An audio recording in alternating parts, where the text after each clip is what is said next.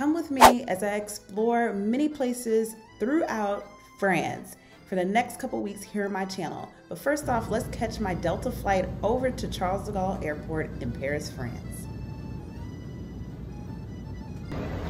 Bienvenue à Paris. Uh, I'm waiting for my valise, my luggage. Um, and then at some point today, I will be taking uh, the train to Marseille. So stay tuned.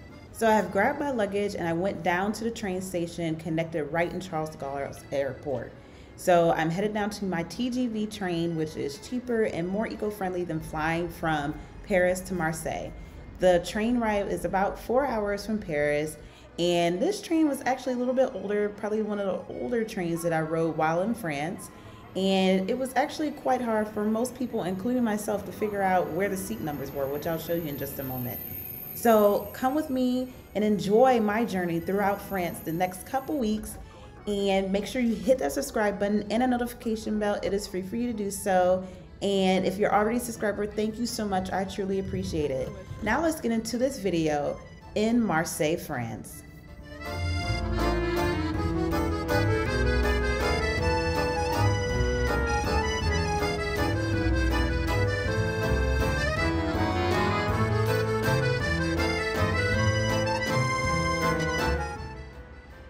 Bienvenue au Francais. I have made it to Marseille, France to start my trip. It has been a long two days or a day. I don't even know anymore, but it's been long two days. Um, but I'm staying at the Holiday Inn Express. St. Charles is right across the street from the train station, which is what I came in on. And I'll be leaving on in less than two days because I'm leaving early in the morning. This hotel doesn't really catch my fancy. Like they still have carpet on the floor. Like just no, no. But I do have a nice view apparently. Can't really see it now, it's, it's dark outside. But we'll, we'll check that out in the morning. Um, but the girl is hungry, so I'm going to just check this out and then go get something to eat. Quick notes about this room. The TV really only had news channels, which was unfortunate, and you couldn't connect your device to the TV, but they did have Wi-Fi that was reliable, and they did have a breakfast available downstairs, and the hotel rooms were reasonably priced. The only issue I had was that this was a non-smoking hotel and someone was definitely smoking on my floor to the point it seeped into my room. So did not like that at all, but they did handle it quickly. So tonight we're gonna have dinner at Chicken Chicken. Let's check it out. Since I just got in, I was really tired. I wanted something fast to eat, so I decided to come to Chicken Chicken. Chicken Chicken is like a fast food restaurant and they have a big variety of items on their menu and they cook things pretty fast, but there was only two people working in there and their card machine wasn't working. So luckily I had cash for a quick bite to eat. All right, First morning, waking up after a real night's sleep in Marseille. Oh my gosh, absolutely gorgeous. Said it was gonna be 50 something today. So I wore this sweater. I think that's all I'm gonna wear because open window is very beautiful. And I think I mentioned that I was supposed to get, get a room with a great view and I did. Let me show you.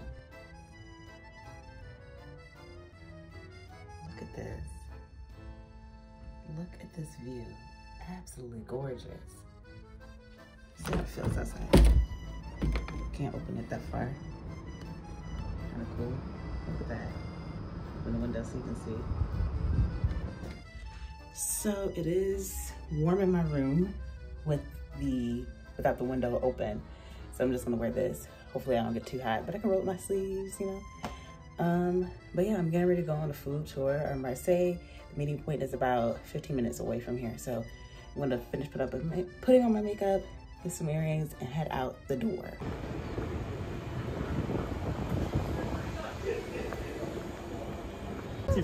hemp, which was close to cannabis.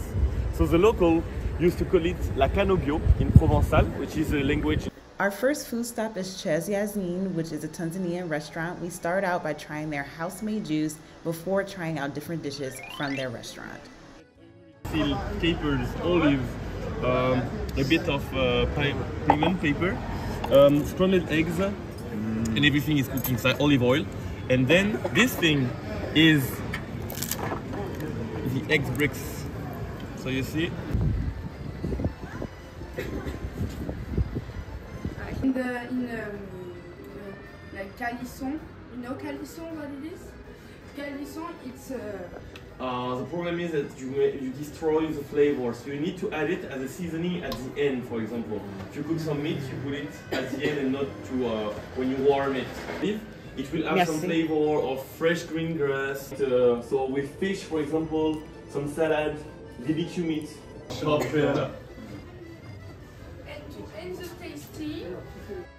One great thing about this tour is that the tour guide goes in and gets the food for you. It's a part of your tour fee and brings it out to you so you don't have to like suffer and wait in line for the food. And it takes you around to the local shops. By the way, this brioche sandwich was delicious.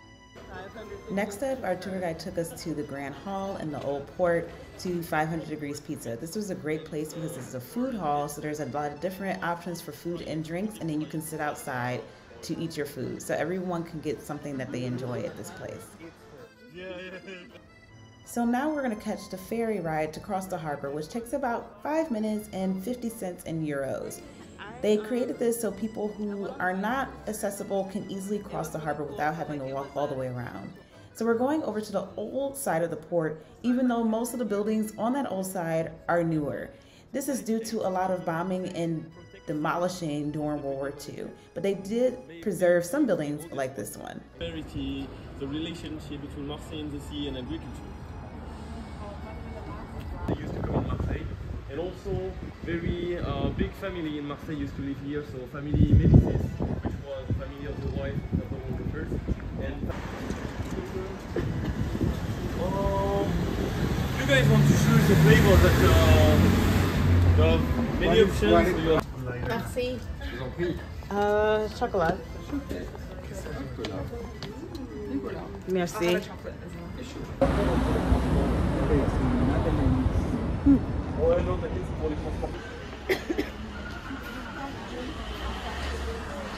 Looking like an olive branch, you see, with the green leaves, dark leaves, and olives.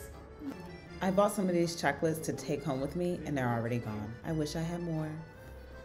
Anyway, this was our last stop, which is right next door to the chocolate place, where we got to try different types of biscuits, and one actually has an orange flavor to it. So, well worth the stop. So I just finished doing a food tour here in Marseille, which was a great experience. Um, got to try a lot of different traditional foods here in the city, and it's not filling, but a lot of walking, so you get to burn off everything that you eat.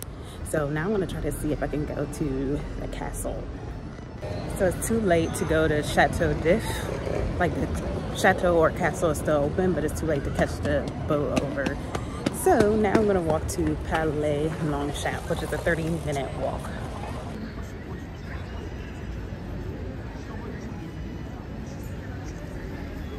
Bienvenue Palais Longchamp. Uh, we're gonna walk around, take some photos, and check this out. This is free um, and it's open all day.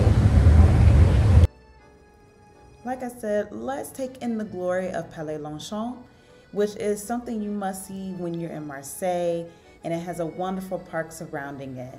It has a historical monument that was built to bring water to Marseille. So back in 1835, there was a cholera epidemic that hit this city because of a water shortage.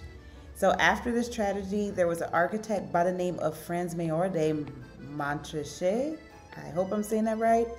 And he was chosen to implement a project to create an excavation canal to bring water from the river all the way to Marseille. So this is part of this project and now it's such a beautiful place to check out while in Marseille.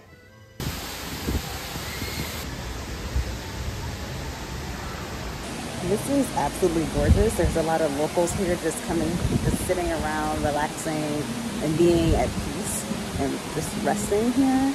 It is a Wednesday afternoon, and just a lot of people are out here at Palais Longchamp. So I'm gonna take this Lime bike back. What I want now. full. Okay, so back to the hotel because my feet hurt and I'm tired of walking. So, Godspeed.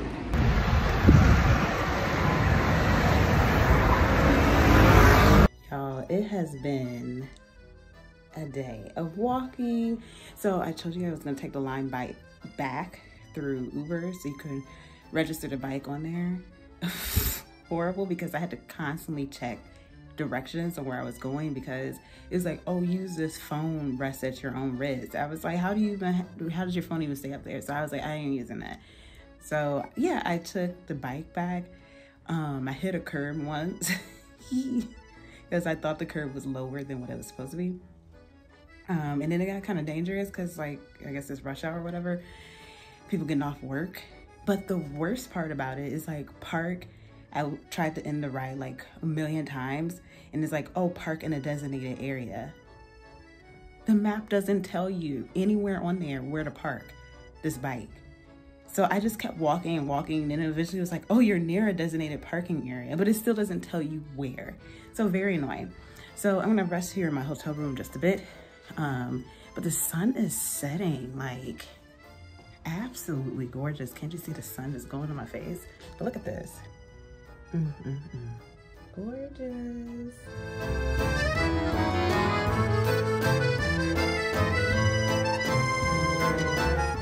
So like I said, I'm going to just go sit down for a while, take off my shoes, rest my feet a bit before I go to dinner um, end my day here in Marseille.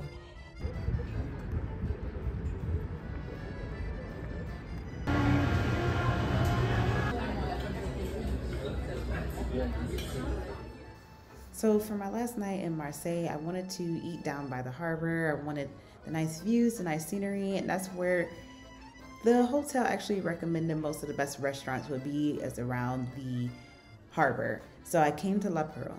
So La Perle, I was able to just walk in. It wasn't a busy night and give me a seat right away.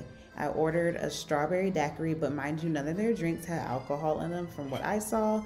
And then I got this salmon dish, which was delicious. The meal ended up costing me about 41 US dollars. So that could be kind of high if you don't want to spend that much, but the salmon was delicious. And if you come during the day, you can actually really see and look out at the harbor. Okay, I made a great random choice for dinner. I really wanted seafood since we're off the sea. I'm like, it should be good. And it was. Salmon was delicious, rice, everything was good about that dish. All right, back at the train station in Marseille to head to Arles less than an hour trip. Off to Arles we go. So I hope you enjoyed this Marseille, France vlog video. So if you enjoyed this video, please make sure you hit the like button. Please don't forget to subscribe and hit the notification bell so you'll be notified when my next series of my France vlog series comes out. And if you're already a subscriber, thank you so much. I truly appreciate it.